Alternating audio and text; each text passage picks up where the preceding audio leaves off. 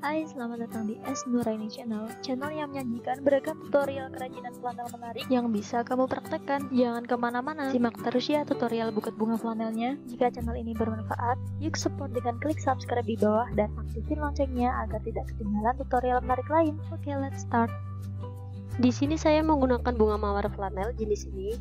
Untuk tutorial bunga flanelnya, kalian bisa cek di deskripsi ya jika kalian ada yang mendapati kain spoonbone seperti ini, ini harusnya reject, tapi jangan khawatir, kita tetap bisa menggunakannya. Kumpulkan kainnya dalam genggaman, lalu remas dan tekan supaya menjadi tidak kaku. Seperti ini, lalu lipat-lipat, dan rapikan. Tempatkan di sebelah kanan bunga flanelnya,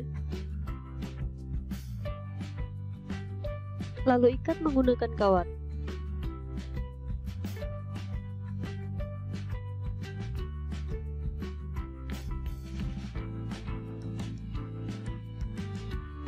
Letakkan kertas tisu motifnya di dalam kain spunbon. Seperti ini. Letakkan bunga flanelnya di tengah dan bungkus. Lalu ikat.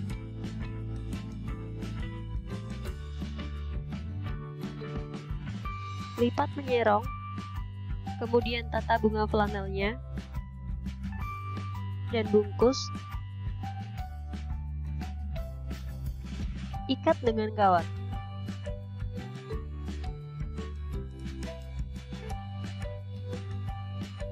Lipat sisinya ke depan dan ke belakang, letakkan di sebelah kiri depan, dan bungkus kemudian rapikan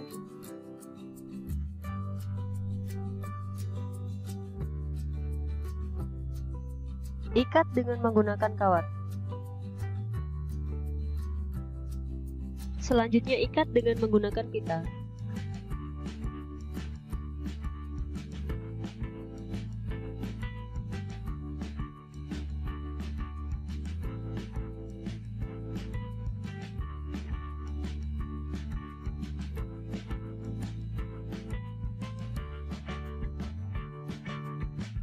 Selesai. Terima kasih sudah menyimak. Sampai jumpa di tutorial selanjutnya ya. Jangan lupa untuk like, comment, share, dan subscribe.